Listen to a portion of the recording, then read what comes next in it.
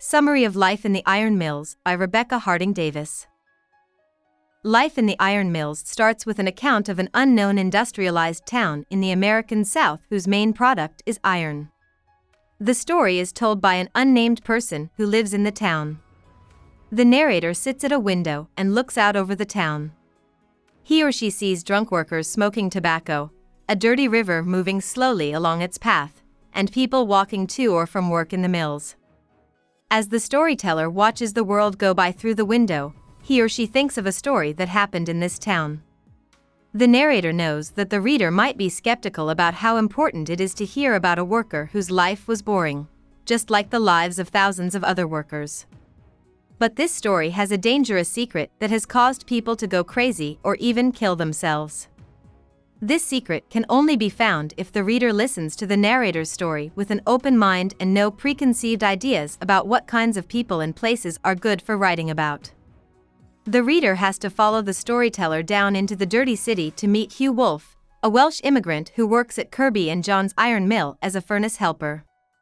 Hugh used to live in the house where the storyteller now lives. That was 30 years ago. Six people rented the single house at the time, but Hugh, Hugh's father, and their cousin Deborah rented the two basement rooms. The story of the Wolfe starts when the point of view changes from first to third person. A cotton picker named Deborah gets home from work on a stormy night to a small, dark, and mossy basement room. Hugh's father, a small, weak man, is sleeping on some straw in the corner while Deborah quietly makes dinner. Deborah is pale and looks a little sick, and she has a bit of a hunchback. She does not drink booze like her friends do. The narrator thinks that she must have something else in her life that keeps her going, like a dream or love that is far away. The narrator thinks that when that thing is gone, she will probably drink whiskey like everyone else. As she eats, she hears a quiet sound and sees that Janie, a young Irish girl from the neighborhood, is hiding in the old clothes on the floor. Janie says that she is sleeping at the Wolfe's house tonight because her dad is in jail. She says that Hugh works at the mill during the night shift. Right away, Deborah gets up and starts putting together a meal for Hugh, which includes a glass of ale for herself. Deborah brings Hugh's dinner to the mill, even though it's almost midnight, it's pitch black, and it's raining. She does this almost every night, even though Hugh rarely thanks her. She thinks about how the mill looks like it belongs in hell, with its roaring fires and shadowy forms of half dressed men. When they get to the mill, Hugh eats his food and tells Deborah to lie down on the pile of ash to rest and warm up. The storyteller keeps coming back to the picture of Deborah lying in the bed of ash, too tired, too cold, and in too much pain to move. The narrator asks the reader to look more closely at Deborah and see not only how dirty and sad she is, but also how selfless she is, how jealous she is, and how much she loves Hugh. The narrator says that her face looks dead because she has loved Hugh for years, but he has never loved her back. She also knows that Hugh is kind to her because he is kind to everyone, even the rats in the cellar. Deborah sees that Hugh wants to be beautiful, and she thinks that's why he's turned off by her disability and drawn to Janie. The narrator tells the reader that these feelings of sadness and jealousy are shared by everyone. The storyteller gives a short description of Hugh and says that the other ironworkers think he is strange and too girly. Hugh is sick with tuberculosis. His skin is yellow and his muscles are weak. He doesn't drink or fight as often as the other guys, and when he does, he gets badly beat up. He also has a strange hobby of making figures out of korl, which is a waste product of making iron. He spends months working on each statue, only to destroy it when he's done. As the story goes on, the narrator asks the reader not to judge Hugh too quickly, since his personality and decisions are the result of a lifetime of hard work, years of illness, and overwhelming feelings of despair, dissatisfaction, and pain. A small group of tourists come back to the mill. Hugh knows some of the men, like the foreman, Kirby, who is the son of one of the mill owners, and Dr. May, who is a doctor in the area. A man who works for a newspaper and another guy are among them. The guys talk about money and politics, and one of them says that the mill looks a lot like Dante's Inferno. Kirby, Dr. May, and the other stranger, whose name is Mitchell, stay behind to wait out the rain after the reporter goes. When the guys finally leave, they are shocked to see a huge figure of a woman made out of korl that looks just like her. Mitchell thinks that Hugh is the artist, and Dr. May asks Hugh what the figure means to him. Hugh says that the woman is hungry for life. Dr. May doesn't understand this answer, but Mitchell gets it. Kirby says the figure is silly and that he doesn't care about his workers' artistic skills. In fact, none of society's problems are his responsibility. All he has to do is pay his employees on time. Dr. May wants to cheer Hugh up, so she tells him that he has a lot of promise.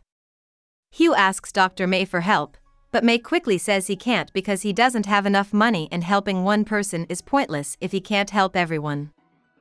Kirby, Dr. May, and Mitchell are waiting for the coach while Mitchell says that change should come from within, not from outside help. Hugh feels like he's not good enough and angry after the three guys leave. When they get home, Deborah tells Hugh that the people they met at the mill said that money was the only thing that could save them. Deborah, who is getting more and more crazy, shoves a big wad of money that she stole from Mitchell into his hands. Hugh just asks if this is what life has come to. Deborah tells Hugh the next day that he has the right to keep the money. He thinks about this for a whole day before deciding to keep the money. As he walks through the town, he thinks about all the things he will miss and knows that he is about to start a new life. He walks into a church by accident. He likes the preacher's fancy language, but he thinks the talk is for rich people and not for him. The storyteller jumps in and says that Hugh was found guilty of stealing by morning. When Dr. May reads about Hugh's conviction in the newspaper, he gets angry and tells his wife that Hugh wasn't thankful for all the help Dr. May gave him. Haley, the jailer, says that Hugh's term of 19 years is the worst punishment that the law allows. Haley also says that Mitchell, the guy Hugh stole from, went to see Hugh in jail the next day because he was interested. Hugh has been quiet and sicker since then, but he still tries to get away every time he can.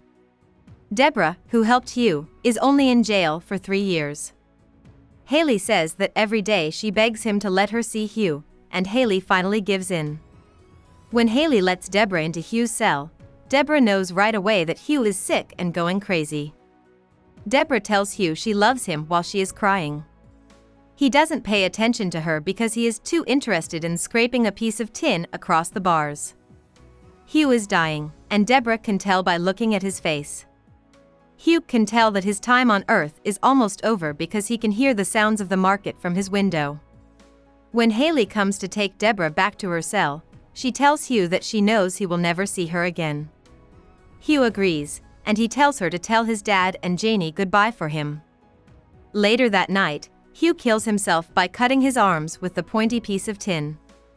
Deborah can tell what's going on from her cell, and she keeps telling herself that Hugh knows best.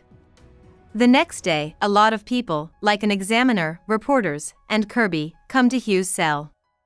Later, a Quaker woman comes to Hugh's body to care for it. Deborah begs the woman to bury Hugh in the country so that he doesn't have to stay buried in mud and ash in the city. The Quaker woman says that she lives in the country and that Hugh will be buried there the next day. She also says that after Deborah has finished her three year sentence, she will come back to get her and take her to the country. The narrator says that three years later, the Quaker woman was true to her word, and that Deborah has become the most calm, humble, and loving person of all the Quakers because of nature and Christian love. The storyteller also says that Deborah still loves Hugh.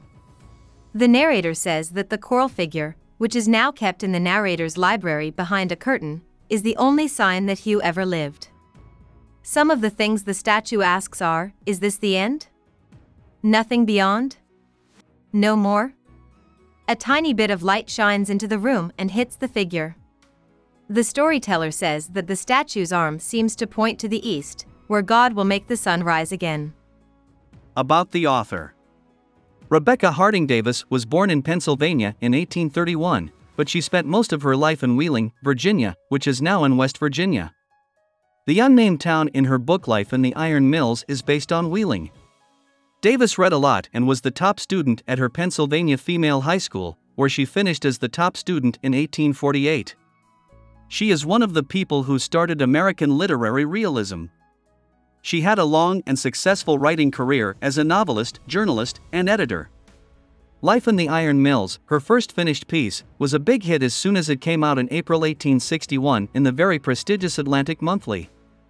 Even though the story was first released under an alias, Davis was still known as the author, and famous writers like Nathaniel Hawthorne and Emily Dickinson paid attention to it. Rebecca Harding Davis wrote more than 500 published works in her career, including 10 books, over 100 short stories, and many pieces of journalism. However, she was never able to reach the same level of success as Life in the Iron Mills. Her work is mostly about how men and women relate to each other, social justice, poverty, and the Civil War. She got married to a writer named L. Clarke Davis in 1863, and one of their children also became a journalist. She died in 1910, six years after completing Bits of Gossip. Hope we summarized it fully and you liked it. Please hit the like button and subscribe to our channel so that we are motivated to create more videos.